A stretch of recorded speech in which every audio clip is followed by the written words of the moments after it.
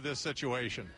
Well, Senator, uh, I'm a big fan of compromise, um, but you know your plan just merely postpones. You say no collective bargaining for two years, and then it goes back into operation. What do you say to your critics who say, "Well, look, if it's good enough in 2013, then it's good enough in 2011"? Well, every good compromise has to hurt a little bit on on every side. It also has to offer everyone hope. And collective bargaining in Wisconsin has given us decades of relative labor peace. I think that's important, and I think it's what we think of when we think of Wisconsin and the great place it is to live, work, and play.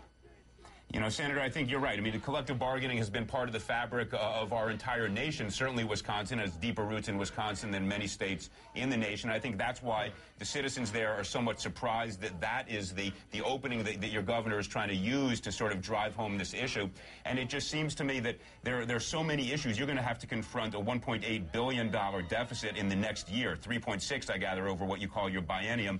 How are you going to deal with that much? I mean, that's that's the big nut that you got to deal with over the next two years. Am I correct?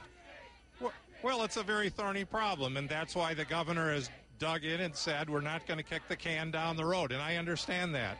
We have taxpayers in Wisconsin who are exhausted, and the governor is doing his level best to stand up for them. I appreciate that. What I am worried about is these passions are going to run so hot that we don't know where they're going to come out, and and, and we run the risk of something tragic happening here. Governor, I have to tell you, I grew up in Madison during the late 60s and early 70s.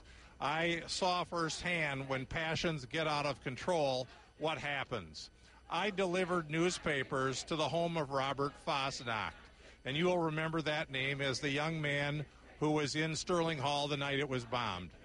I know that if people don't step forward and find ways to bring people together and take that political risk, have that courage, sometimes bad things happen. And I pray every night that the people who are concerned about both sides of this find a way to come together and to talk about our future.